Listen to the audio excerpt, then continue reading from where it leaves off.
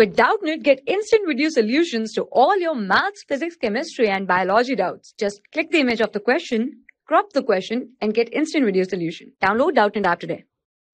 Today we will solve the question from the fraction. The question is the following fraction represent just three different numbers. Separate them into three different groups of equivalent fraction by changing each one to its simplest form. So in this question we have to simplify the fraction okay? Very easy question. Let's see how to solve this question okay? So first our equation is 2 by 12 so hang on so first question 2 by 12 so we divide 2 by 12 hmm. we divide by 2 from numerator and denominator. Then we will get 1 upon 6 okay? Very simple problem. Now move let's move towards another. Our next equation. Okay? Next equation is 3 upon 15 okay? So if we see that 3 upon 50 what is the the smallest number divided by 3 and 15 it's obviously 3 3 is, will be the smallest number which will divide 3 and 15 so we will divide by 3 both side okay? Numerator as well as denominator. Then we will get 1 by 5 okay? Very easy question. Now let's move on set another point. C point the fraction is 80 upon 8 upon 50 so what will be the smallest factor? So uh, 8 also come in 2 and 50 also come in 2 so we will start with 2 8 divided by 2 on numerator and 50 divided by 2 on denominator. So we will get uh, at the table 2 times 4 we will get 8 so 2 4 2 4 is 8 so we will writing 4 here on the numerator side. And on 25 times the half of 50 is 25 okay? Can it be or more divide divisible? No. Because in any table there is no 4 and 25 comes. Okay? That's why it can't be divisible further. So next part. Let's move on the d part d part is 16 upon 10 so let's suppose again divide 16 upon 10 the lowest it will be 2 so we will divide by 2 on numerator as well as denominator. So after dividing 16 it will become 8 and dividing 10 by 2 it will be 5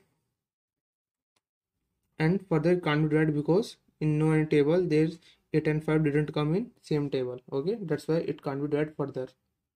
Now on e part e part is 10 upon 60 okay?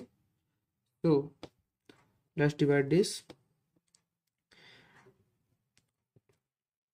First of all we divide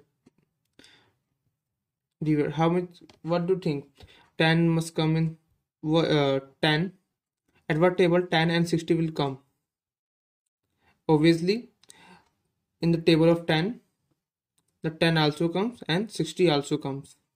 So in simple we can divide by 10 so dividing by 10 we get 1 and in that 10 times 6 times 10 we get 60 so the answer will become 1 by 6 now moving further on f part f is 15 upon 75 15 if you divide 15 upon 75 recall first of all check on the table of 15 does 75 comes in 15 table? Yes. At how many times comes 15 table? At 15 5 just 75 so 75 is also divided by 15 and 15 is also divided by 15 so we can okay. So 15 divided by 15 divided by 15 so it will become 1 upon 5 very simple. Now moves on on at g part okay let's see the g part. G part is 12 upon 20 so sorry 12 upon 60 let's see. Does 60 comes in 12 table? Yes obviously come. At how many times at at what value does 60 come on 12 table? 12 5 is 60 and 12 also come in 12 table obviously. So we will divide by 12 on both side. Numerator as well denominator. 1260 divided by 12 and in the numerator denominator 12 so we will get 1 upon 5 okay? Now moving further on h part. H is 16 upon 96 again match. Does 96 come in the table of 16 yes. At how many times? Added 6 times. When we multiply 16 we get 96 and 16 also come in 16 table. So we can simply divide 16 16 okay? So we will get 1 upon 6 very simple. Now moving towards i part. I is 12 upon 72 if we recall about 12 upon 72 the 72 comes in the 12 table? Yes obviously. At how many times the 72 comes at 12 table? Guess. Hmm. Um so let's see. 12 22 divided by 12 upon 12 okay? So we know that 12 comes at 12 at one time. Okay? We know that. And uh, if you know about 72 so 72 comes at 12 at 6 times. Okay? So we can write 1 upon 6 simple very easy question now moving to j part okay j part is 3 upon 18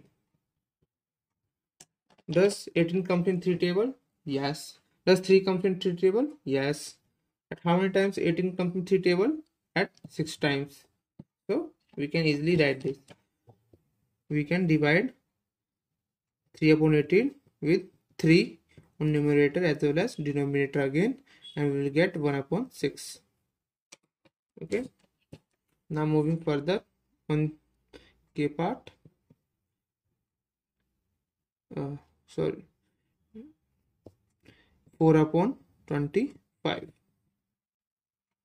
and uh, can you know can you divide 4 upon 25 is it possible to divide 4 upon 25 no so it is already in simplest form okay? We can't divide it anymore so it is the final and it is the most simplest form. We for class 6 to 12 IIT JEE and NEET level. Trusted by more than 5 crore students. Download Doubtnut app today